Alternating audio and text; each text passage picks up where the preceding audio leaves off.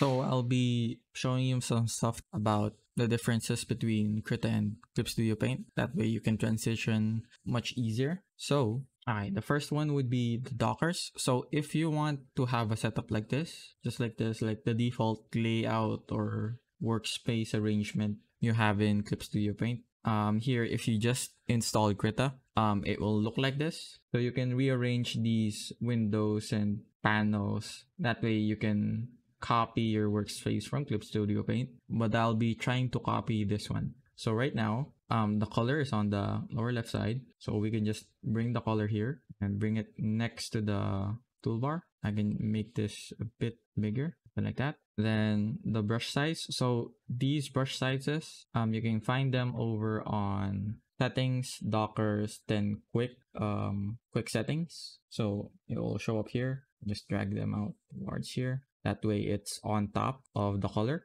Then the next one would be like the brush setting. So we don't necessarily have something like this. I mean, it's over here. So it's on the top. So um, that part you can't just kind of um, remove. I guess you can like do it like this, but it's not really ideal. So it's much better if you just, you know, let it stay there. And then um, these brush settings, it's kind of like this one. So these are brush presets. These, these are also brush presets and you can just put it on top. Then if you want to have the same kind of thumbnail, you can just go over here, change the icon size to be something like that. So we don't have the same type of preview as Clip Studio Paint. So that's the closest that we can get. And it's kind of the same thing over here on Clip Studio Paint where these are kind of like categories of the subtool brush. And over here, you kind of have different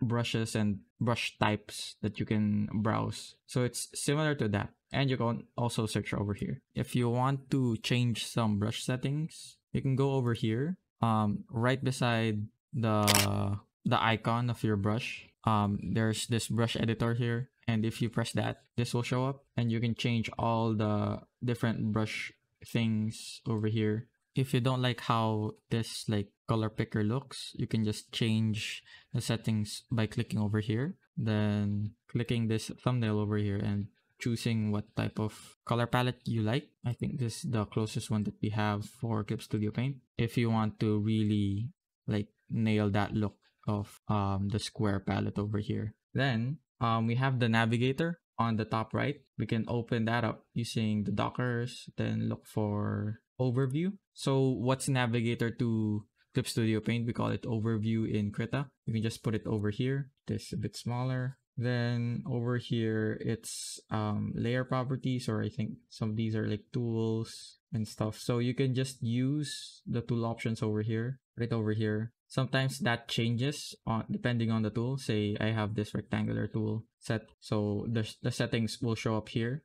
Or um, it might be better if you keep it over here since it's more similar to the tool property over here. So that also changes depending on what type of tool you're using. That's a better comparison compared to, you know, having it over here on the right side. Here we don't have um, something like this that's more about the layer properties. I think it shows up when we have say a vector layer. See, so some like quick settings show up here depending on what you're selecting. So we don't have something similar in Krita. But um, yeah, that doesn't really matter much since like most of the things you already have set up over here.